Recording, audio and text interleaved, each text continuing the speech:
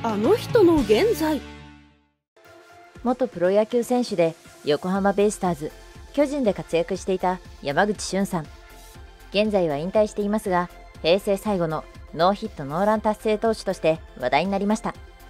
山口俊さんは巨人から自由契約になりました。本来はもっと野球をやっていたかったということですが35歳でオファーがなく現役を引退したということです。チームがないということは僕の実力はそんなものと思ってユニフォームを脱いだということ。独立リーグからの誘いはあったそうですが悔いはないということでの現役引退ですね。その後山口俊さんが何をしているのかはとても気になりますよね。調べてみると六本木にちゃんこ料理店谷嵐をオープンしていました。山口さんの父親が元幕内力士ということで大分でちゃんこ屋さんをやっていますがその本店からののれん分けということで開業に釘付けたそうですよ。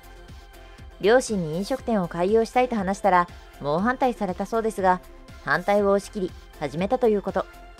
現役時代から引退後は経営者として再出発したいと考えていたそうです。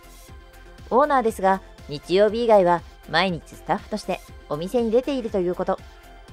お店の方は順調で最低目標はクリアしているということですが経営者としての才能があったのかもしれません。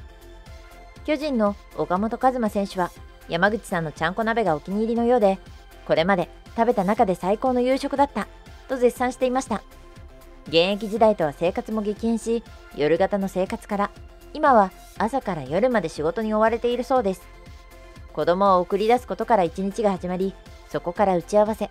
お店は17時にオープンし家に帰るのは片付けも終わって深夜12時頃ということですよ。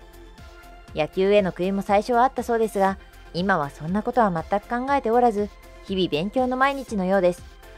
野球選手のセカンドキャリアは難しいと言われていますが現役時代から引退後のことを考えていたことでスムーズに働けているようですね。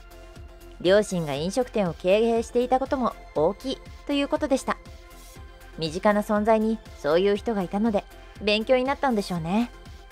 また7月中旬にはエステサロンもオープンしたということで事業拡大を考えているようですよちゃんこ店もアメリカに支店を開きたいという計画もあるそうですし実業家として今後は活躍していく姿を見たいですね最後までご覧いただきありがとうございました。